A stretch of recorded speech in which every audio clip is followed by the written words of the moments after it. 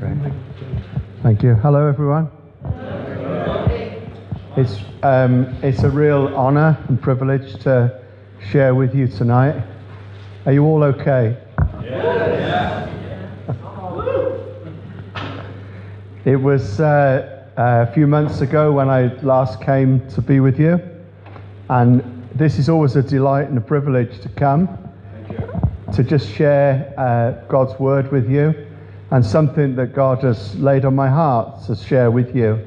Uh, many of you know that um, my journey from Caldicot led me to the Rhondda, and uh, I've got good news for you. I'm no longer pastor in a church in the Rhondda. Oh, it's good news. and the, the reason why it's good news is that I'm no longer needed, which is great news because the church uh, has been established and it's grown. Uh, we have in the region of 60 people in that church, and we've established leaders. When you read through scripture and you see the, the model of Paul, uh, Paul's model of church planting is to uh, establish a congregation and then to allow local people to lead that church, and then for the church planters and others to move on uh, to do other ministries and do what God has called them to do in other areas. It's an exciting time. Um, it's exciting time to be a pastor without a job um, because you're not needed. And so many pastors are so insecure that they have to hold on tightly to something uh, that they, they, they run or they're part of an organization. But pastors have got to let churches go. We've got to release others. And the church that I planted, I, I, was, I was outsourced by younger people. It was a young church with young people from the Rhondda come in. And it was exciting, and we saw people saved, we saw people baptized. And, and now this morning they met and uh, they worship God in the local college. And other younger leaders have come, I still live in the Rhondda, Luke and Luke's mum and others uh, that, that, we, that we work with, still in the Rhondda, um, but seeking what God will do next. Anyone ever get in that position? You're seeking God as to what you need to do next. It's called the faith gap. Don't panic when you're in the faith gap, but sometimes you have to leave one thing to arrive at the next thing. But there's a period of time where you're off the ground and you don't feel stable and solid. So I just encourage you to plant your feet on the rock of Christ Jesus. Whether you're in a secure position or an insecure position, where you, whether you're in a position where you don't know what will happen, your dear drummer, he doesn't know what's going to happen. His health is in a faith gap. You don't know what tomorrow will bring. So it, that's just a little bit of an update on uh, our situation and how God has led us. And you prayed for us and you've supported us and you've encouraged. And I know Luke and I uh, came to the, the curry nights. I think it must have been last year, and we shared some things with you then. And you've been such a blessing into our lives. This weekend, this is the fourth service I've spoken in. The fourth service. And preaching, preaching, and sharing and sharing. Uh, and you do it because God lays it on your heart. But I've got to tell you this that out of everywhere I've been, uh, I was looking forward to coming here tonight.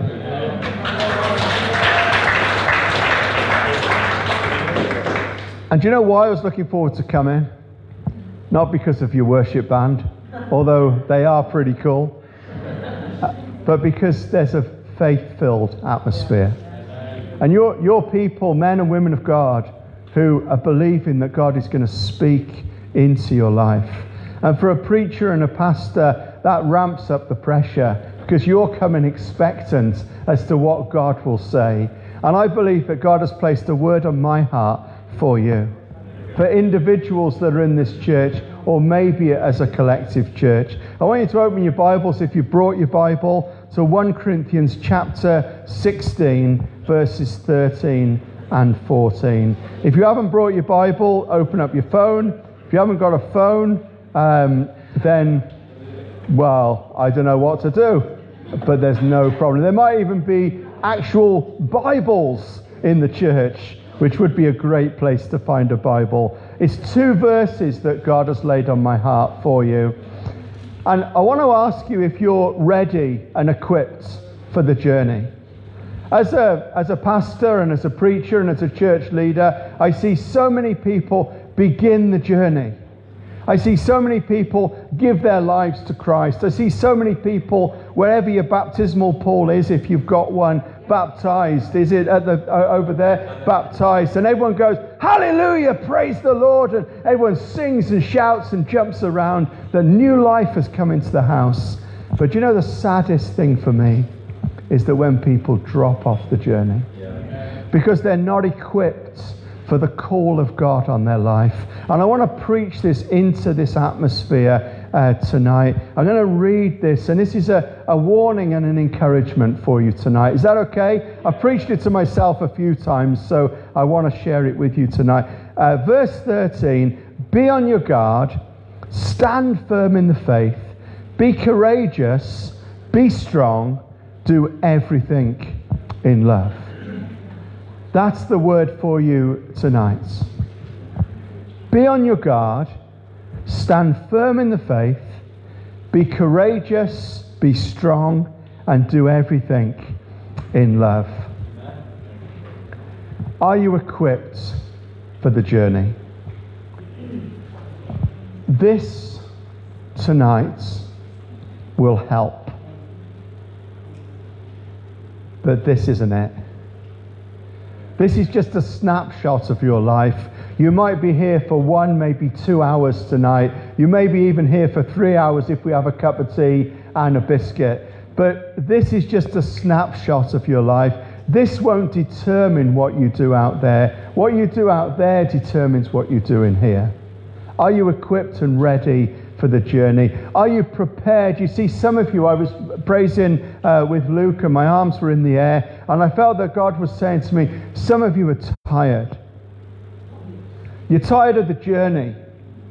You're not physically tired, you're spiritually tired. You're tired of the journey. The expectation of what you thought would happen hasn't happened.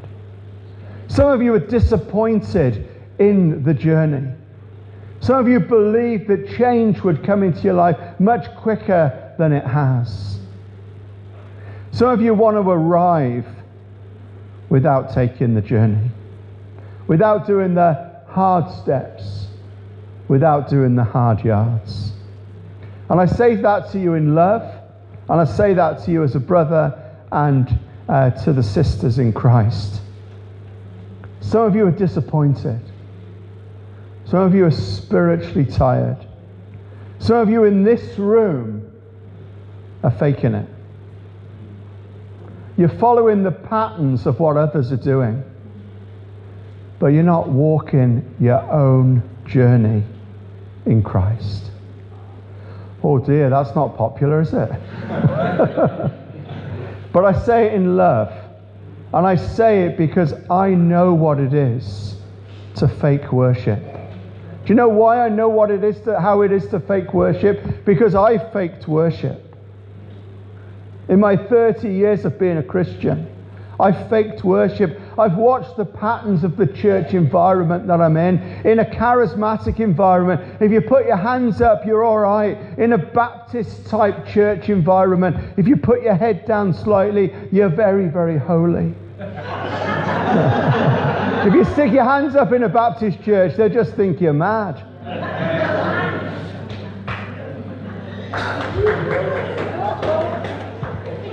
But we adopt the patterns of the environment that we're in. And what God wants from you and what He wants from me is genuine, authentic worship. Amen. And genuine, authentic worship happens when you walk through those doors. And I want to ask you tonight are you, when you're singing these worship songs in your front room, in your car, in your workplace, when you've got them when you're running, or when you're jogging, or when you're at the gym? Are you streaming down with tears? Do you feel the Holy Spirit welling up inside you? And when that's happening, you know that you're taking the right path. When you're in the, the queue waiting for your Chinese food. and there's 10 people in front of you and they're really, really slow. You know if you're equipped for the journey because you love all those 10 people and you're happy to wait an hour for your Chinese food.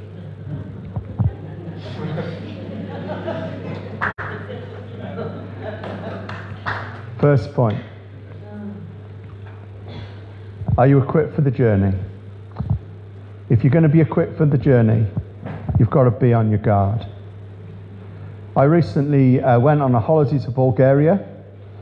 Um, I didn't know my wife and daughter came with me, and I didn't know that it was the party capital of Bulgaria. If anyone's ever been to Sunny Beach, uh, perhaps some of uh, the people might have been to Sunny Beach in their past life.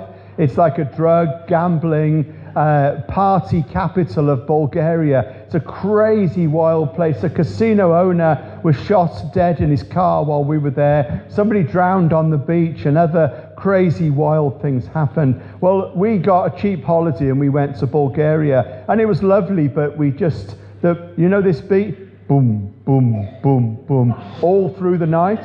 You know what? Some of you know what that is. Boom, boom, boom, boom. Well, the nightclubs and the parties went on till four, or five o'clock in, in, the, in the morning. But we had a lovely time and we got on really, really well. And we were going to fly back to Cardiff. We got on the coach to come back to Cardiff. We got on six o'clock in the morning. And I want you to think about being on your guard. Because when me and Hannah, Hannah's my daughter, uh, Luke's sister, got on that coach and my wife was sitting somewhere else, there was a guy behind us and he was absolutely hammered. He, he'd been drinking all night and he just got on this coach, but he'd been drinking and eating. And you could tell that there was stuff going on in his stomach. Apologies to anyone that's eating on uh, Facebook Live, but there was, su- there was stuff that was going on in his stomach, and you could sort of hear it, and you were aware that something was going on with this guy. And he was, he was swearing and he was blaspheming, and then he went to sleep, and then he woke up. Well, as soon as the coach stopped at the airports, me and Hannah quickly moved away from him and he leant over our seat and he brought up all of the contents of his stomach all over the seats where we were sitting. It was his food. There were carrots in it. I don't know. I, I, I don't know how he'd been eating carrots, but there were carrots in it. There was various uh, uh, substances that he'd been drinking, and it was all deposited all over the seats in front of us. You know, if me and Hannah had been asleep on those seats, we'd have been covered in the stuff that he released on us uh, via his mouth. I want you to think of that as a spiritual analogy that we need to be on our guard at all times. Do you know, together in this building, we're strong. Did you know that in this building we're strong? The devil doesn't have a place in this building. Did you know that the devil's probably hanging about in the car park and he's trying to get in and he's trying to send his demons and, and all his, his minions and all the people that, that are with him? He said, I, I want to get at those people. And God's going, You won't get in there. So, what the devil does is he just waits outside. He says, I can get them on a Sunday night when they go back home. I can get them on a Monday morning. I can get them on a Wednesday afternoon. I got six and a half days opportunity where I can attack them. I want to encourage you to be the church and to be on your guard at all times. And so many Christians just lie asleep. They lie asleep and they go, Well, I go to church. I'll put some money in the velvet bag when it comes around. I'll sort of uh, fake my worship and I'll do some things and everyone will go, hey, that guy's good. Hey, that girl's good. I'll wave a flag. I'll do some things that everyone else is doing. I want to encourage you be on your guard. Jesus said these words in Mark 14 38 Watch and pray so that you do not fall into temptation. Watch and pray. Be on your guard on the journey, on the following of Jesus every single day, seven days a week, 100% of the time. Don't slip away from your guard. Jesus said, Watch and pray. What have we got to watch for? We've got to watch for the environment that we live, the people that we place ourselves amongst. You see, people can lift you up and they can drag you down. Amen. If you've ever been in those situations, you want to be with people that are going to lift you up. Watch and pray so that you do not fall into what? Into temptation. Where does temptation start? It starts in the mind and works through the body into your actions. Watch and pray. Be aware of the environment that you're placed in. Be aware of the people that you live with, the people that you do life with. God said to Jeremiah in Jeremiah 1, verse 11, Jeremiah, what do you see? It's a prophetic statement. It's not, I see some chairs, I see a floor. He's saying to Jeremiah about the environment that God has placed him in. What do you see? It's a prophetic message for us today. What do we see? What do you see when you see the church? What do you see when you see your family? What do you see when you see your future? What do you see when you see your journey? Watch, be alert, be self controlled, and be alert. Watch and pray. I want to ask you, what is your prayer life like? What is your prayer life like? R- really now? It, it, let's not, we're not faking this. There's no point. We could do other things on a Sunday night, couldn't we? So much else we could do. What's your prayer life like? I used to run marathons. Not anymore. I'm too old and too fat. And my brother, who is a proper marathon runner, said, John, you're always trying to cut corners. You're always trying to run the marathon without the hard yards and the training. And sometimes we're trying to find the destination before we're prepared to take the journey. People say to me, John, what are you going to do now? Now uh, you've left Dream Centre and you've left Sporting Marvels and you've handed the church on to other people. So, do you know what I'm going to do? I'm going to get on my knees and I'm going to seek the Lord. Anyone else tried that system? Or, or I could use this system. I'll go on Facebook and I'll say, what, do you, what world, social media world, what do you think I should do? What a waste of time. I'll ask all my non Christian friends, what shall I do? What a waste of time. I'm going to go to the one that I think knows my future, he knows my presence, and he knows where he wants me to go. And that's who I'm going to go to. And you know, there's some days when heaven is silence. Has anyone ever got a prayer life like mine? You know, when you're on your knees or you're sitting on your bed or you're sitting in your prayer chair, hope you've got a prayer chair, these are important, or a place where you prayer walk, and heaven is silence. You're saying, Lord, what do I do? Where will I go? And heaven stays quiet. Do you know what I want to encourage you to do? Press in. Press in. Don't give up. Be on your guard. To be equipped for the journey, we need to stand firm in our faith. I, I love coming here because you understand these things. You understand what it is to be in the spiritual battle. You understand when I say stand firm in your faith that it, it's a supernatural, God ordained position.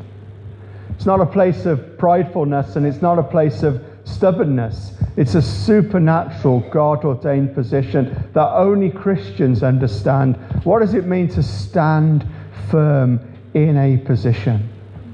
What you're called to do, you need to do. Where God calls you to do it, you need to go and do it.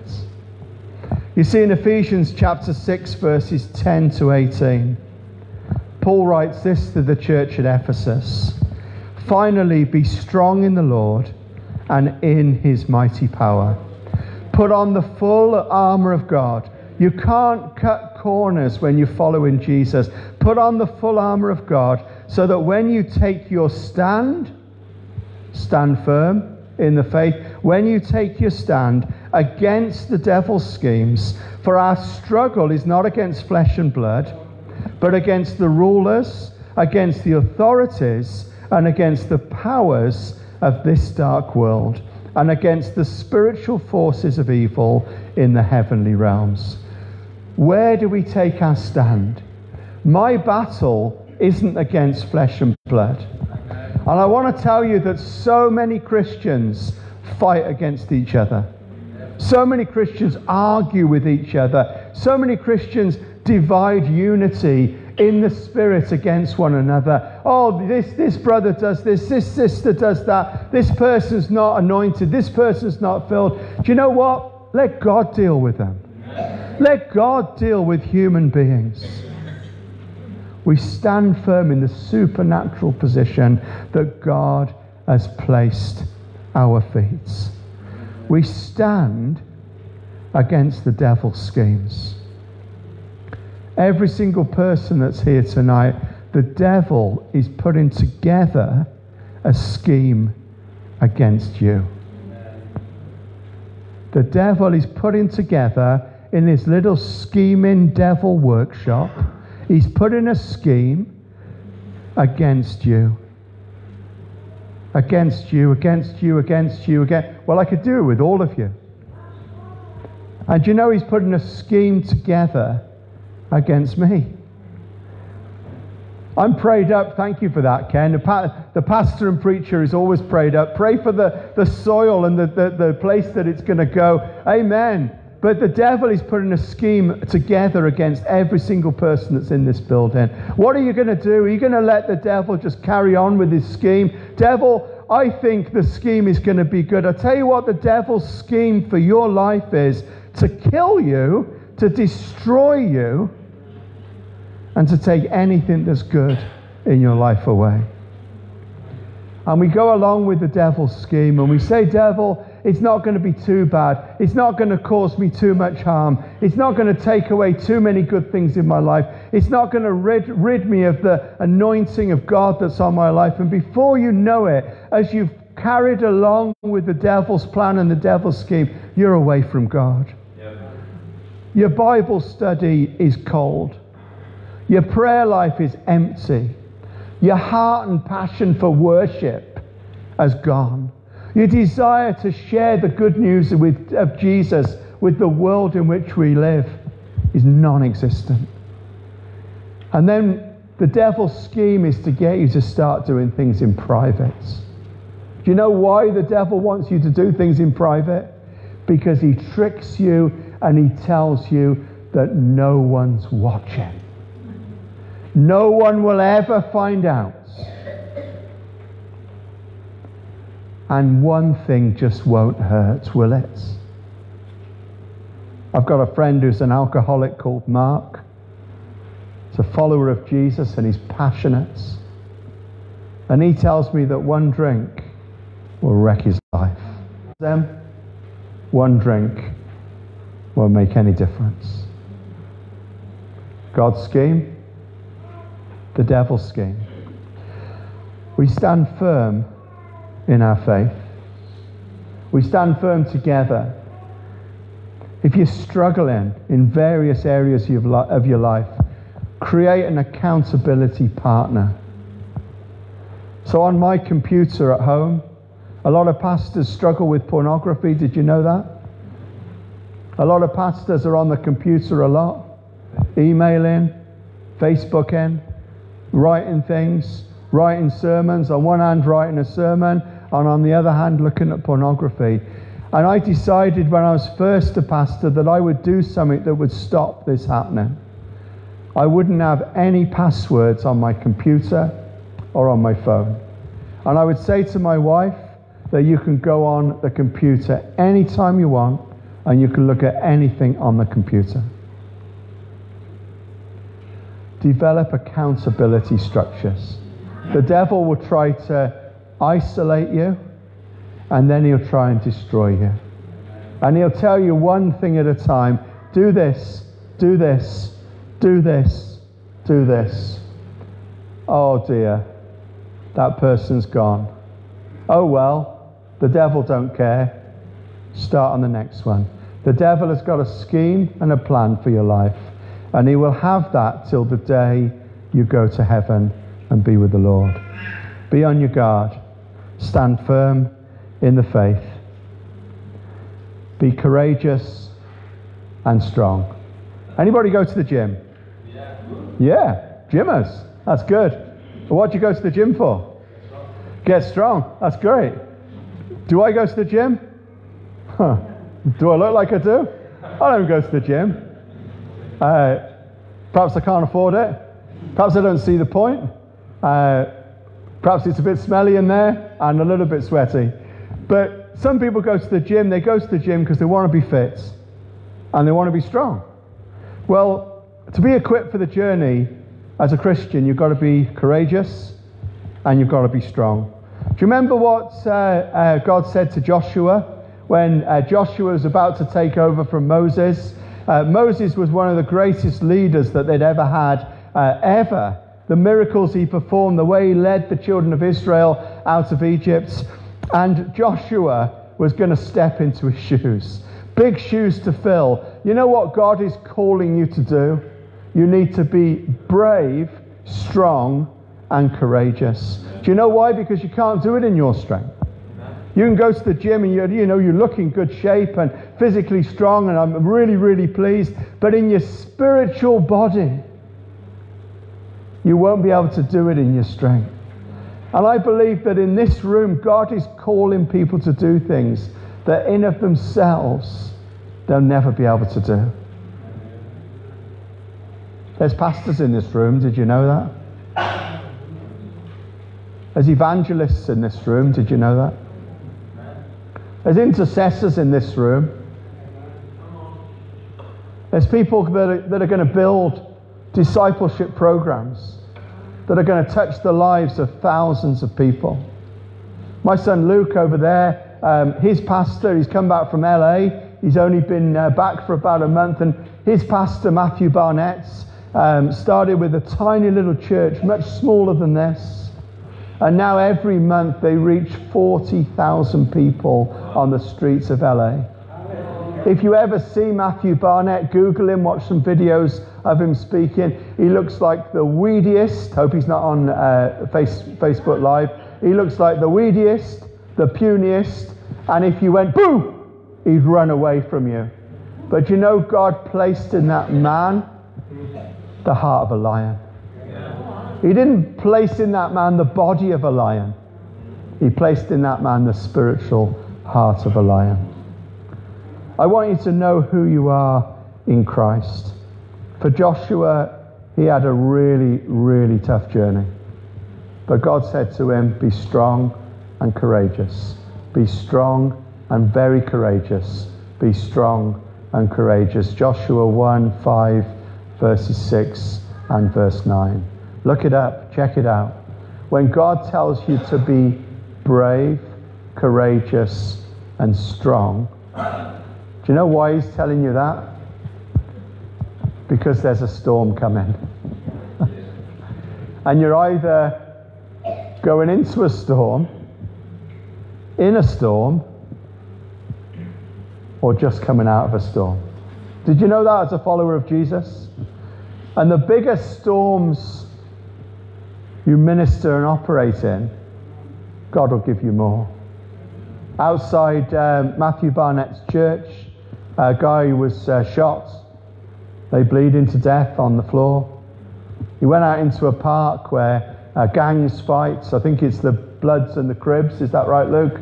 Uh, blues and the Reds. Um, and when I went out there last year, I had a blue T-shirt on, and someone said, "There's snipers in those buildings, and they're looking for people with blue shirts on. Don't go to LA with a blue shirt on." Uh, and I was sort of like walking along, trying to hide my uh, blue shirt and waiting for the the noise and I could have dived down, but thankfully I was okay, as you can tell. Be strong and courageous, not because you're strong, but because He is strong in you. You're not strong, but He is strong in you. Isaiah 40 29, He gives strength to the weary and increases the power of the weak. Anybody tired in this building? Anybody disappointed? Anybody struggling? He gives strength to the weary and increases the power of the weak. Philippians 4:13 I can do all things through him through Christ who strengthens me.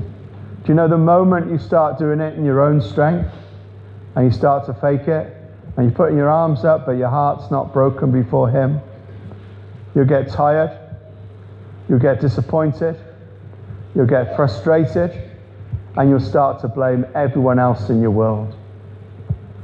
Look in your mirror because a reflection of you should be Christ. Because it's Christ that gives you the strength.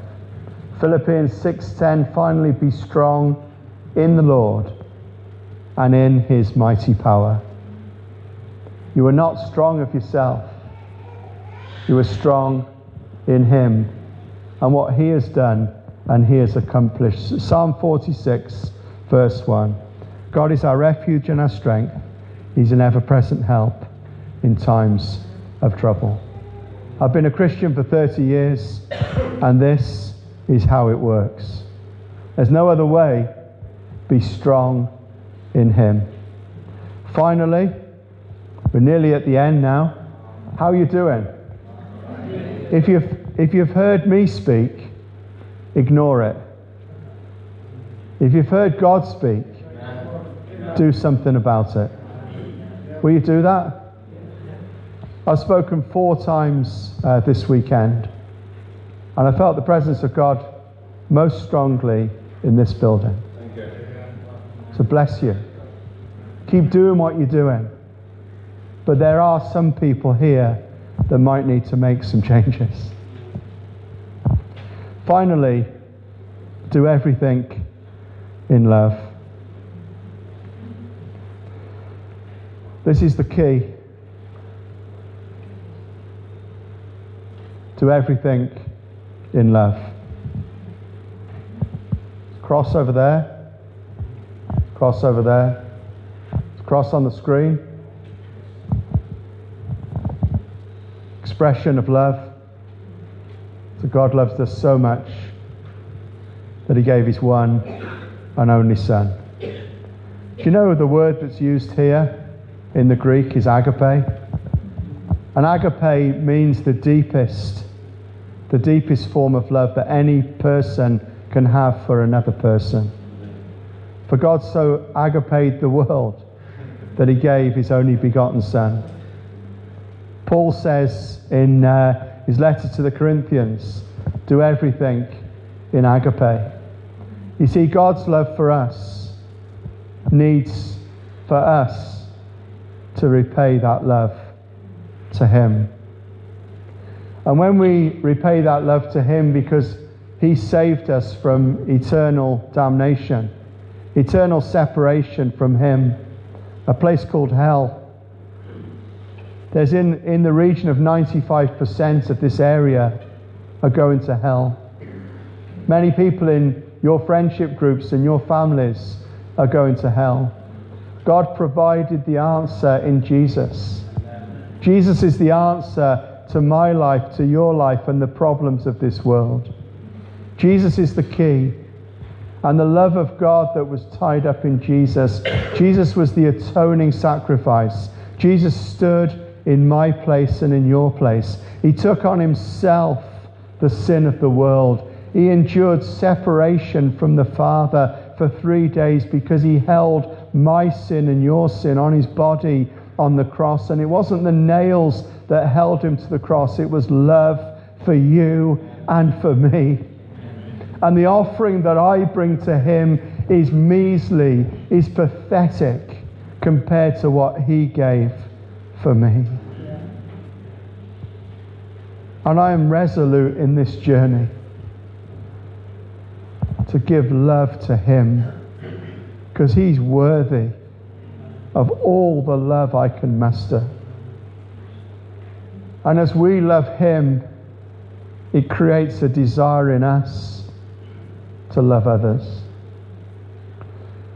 We're not called to like, we're not even called to tolerate. We're called to love. And I believe that the world out there will want to know our Jesus. Not because of how we worship, not because of how we dance, not because of how I preach, not even because of a great curry night, although that's a great idea. But the world out there will want to know our Jesus because we love them. Because we love them. There's no shortcuts, there's no easy fixes for the church of today. We need to love the broken. We need to love the lost. We need to love the addicted. We need to love the annoying. We need to love the people that aren't going to love us back. We need to love the people on the streets that aren't even going to say thank you. And if this church will show the love of Jesus to the world, and we can go on that journey of being on our guard and standing firm in the faith and being brave and being courageous, there won't be a seat in this building that will contain the people that will want to come. Why are our churches empty and why are they dying? Not because of Jesus, but because of us.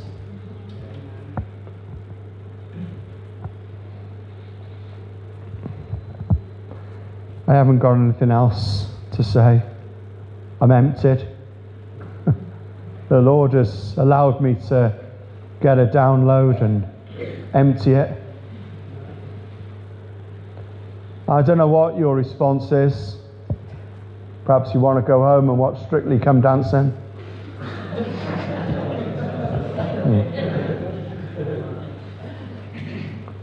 Perhaps you want to go and watch some porn or a horror movie.